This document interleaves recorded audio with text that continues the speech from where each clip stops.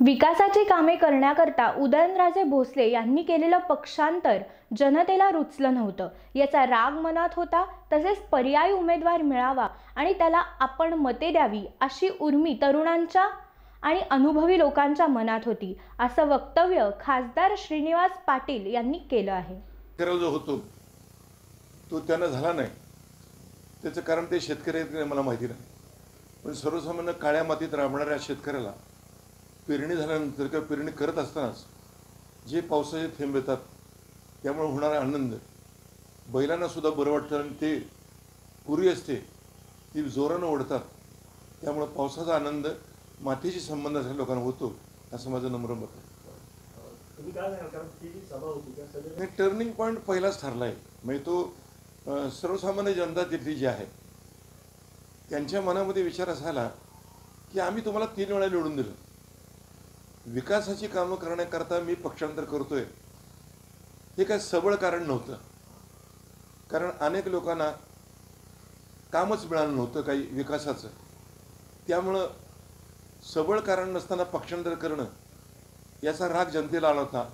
आणि त्यामुळं पर्यायी उमेदवार मिळावा आणि त्याला आपण मतं द्यावं अशी उर्मी तरुणांच्या आणि अनुभवी लोकांच्या मनात होती.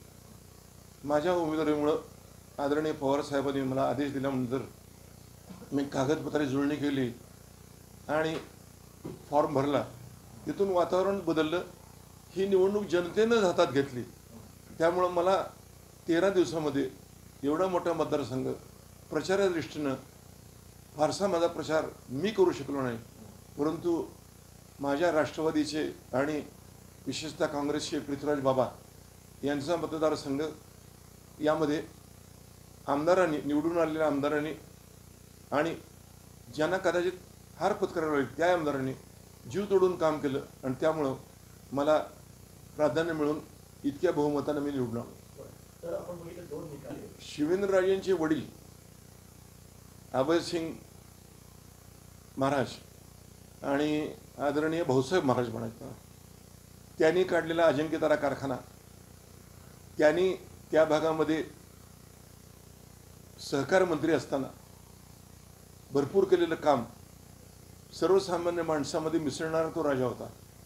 त्यांची पुण्य आणि शिवेंद्रराजांचं एक उमद नेतृत्व. सहसा सामान्य माणसाला जवळ बोलावून त्याची विचारपूस करणं त्यांना मदत करणं कारखाच्या रूपानं शेतीसाठी कर्ज देणं पाणी पुरवठा करणं यामुळं ते जनतेमध्ये लोकप्रिय होतं. आणि त्यामुळं सामान्य माणसानं त्यांची जी कामं होती गेल्या कित्येक वर्षांची चाळीस वर्षाची त्यांच्या घरामध्ये परंपरा आहे त्यांच्या पत्नीही वेदांतिका राजे या सामाजिक कार्यकर्त्या आहेत. फळे फुले भाजीपाला यांची संघटना त्यांची फार मजबूत आहे. त्यामुळं गावोगावी त्यांचे जे मित्रत्वाचे प्रेमाचे संबंध होते त्याचा त्यांना उपयोग झाला. नाही खरं तर त्याने आता त्यांचे वडील माझे मित्र होते. त्याही घराण्याला एक फार मोठा इतिहास आहे. छत्रपतींची गादी चालवणारे ते घराणं.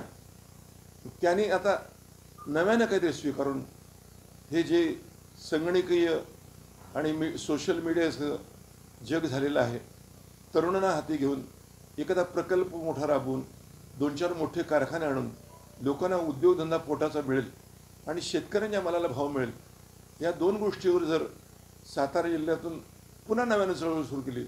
तर त्यांचं नेतृत्व आणि कित्येक काळ चालू शकेल कारण त्यांचं वय अजूनही काम करणं इतपत आहे. त्यामुळे त्यांना काम करून दाखवा जनतेचा विश्वास परत मिळवा. हार जीत ही निवडणुकीत होतच असते. त्यांची हार झाली याचा फार मोठा आनंद मला नाही. कदाचित त्यांनी आपल्याच पक्षात राहून शरद पवारांच्या नेतृत्वाखाली जर पाय रोवून काम केलं असतं तर कदाचित त्यांना याही पेक्षा मोठी संधी मिळाली असते. संधीच्या शोधात पक्षांतर करणं हे कदाचित जनतेला आवडलेलं नाही.